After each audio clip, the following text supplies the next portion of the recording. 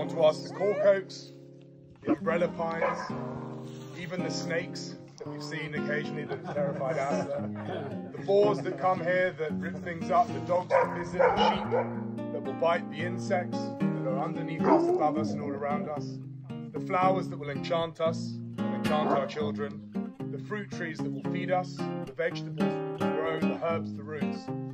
all other living beings that are on this land be on this land. We ask for their permission